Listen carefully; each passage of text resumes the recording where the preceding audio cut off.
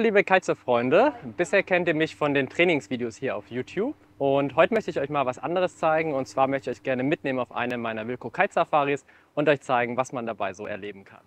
Der offizielle Anreisetag ist der Samstag. Ihr werdet vom Flughafen in Hurghada von unserem Fahrer abgeholt und direkt nach Elguna gebracht, wo ihr, wenn sich die Zeit noch ausgeht, noch eine schnelle Session auf dem Wasser verbringen könnt. Und ansonsten könnt ihr an der Bar relaxen, bis die Gruppe dann vollständig angereist ist. Am frühen Abend fahren wir dann mit der gesamten Gruppe auf das Boot, das in der Marina in Hurghada liegt. Da gibt es dann noch ein gemeinsames Abendessen für alle und im Anschluss noch ein ausführliches Briefing, wie die kommende Woche auf dem Boot so abläuft.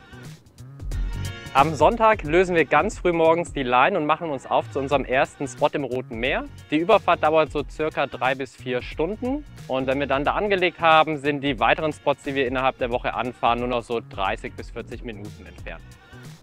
Für jeden neuen Spot, jede Lagune, die wir anfahren, bekommt ein ausführliches Briefing von unserer Seite. Wir planen auch die Sessions je nach Windforecast und High- und Low-Tide, so gut es geht, damit ihr die bestmögliche Session auf dem Wasser genießen könnt.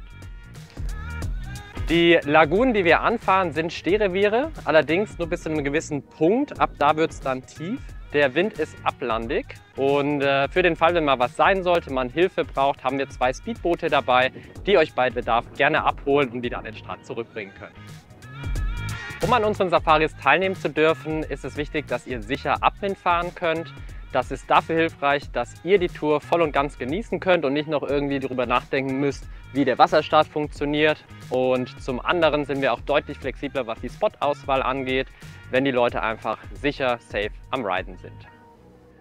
Am Strand hilft euch unser professionelles Team, das von unserem Beachmaster Ahmed geleitet wird. Wir arbeiten mit Tauchflaschen, mit denen wir die Kites aufblasen. So kriegen wir euch dann ruckzuck aufs Wasser. Und beim Starten bei den Inseln helfen wir euch gerne auch persönlich nochmal, einfach, dass ihr ganz sicher aufs Wasser kommt.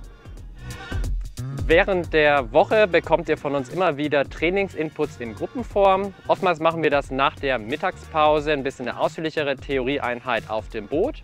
Und danach am Strand kriegt ihr immer wieder kleine Inputs, bevor ihr aufs Wasser geht, um kleine Korrekturen, kleine Fehler schnell beheben zu können. Und wenn ihr zwischendurch Lust habt, könnt ihr auch gerne auf uns zukommen, wenn ihr neue Tricks, Manöver üben wollt oder gerade nicht genau wisst, euch inspirieren lassen möchtet, was als nächstes bei euch anstehen könnte. Wenn wir mal einen Tag keinen Wind haben sollten auf unserer Safari, dann wird es uns garantiert nicht langweilig. Wir füllen die Tage dann mit Schnorcheln oder Wakeboarden und am Abend gibt es dann häufig mal ein Barbecue an den Inseln am Strand.